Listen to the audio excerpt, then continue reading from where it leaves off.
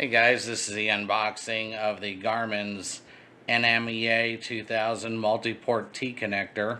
This is Garmin's part number 010-11078-01.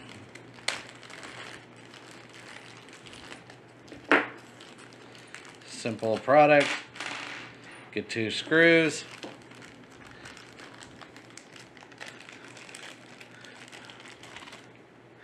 Connector itself.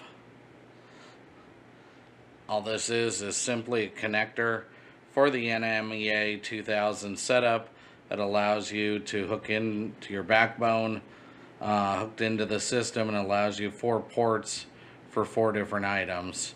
Um, if you're running multiple chart plotters, um, sensors, whatever, it allows you hook up into one simple package instead of having a multitude of connectors as you go. This compacts it down slightly to just give you a small connection uh, and one connection for four outputs.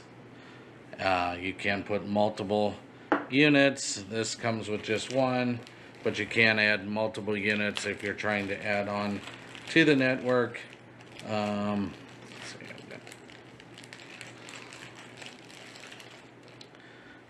you can add on a second unit. Click into there.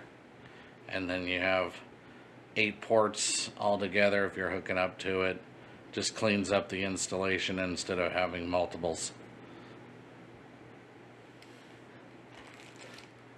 Again this is for just a four output um, and the backbone hookups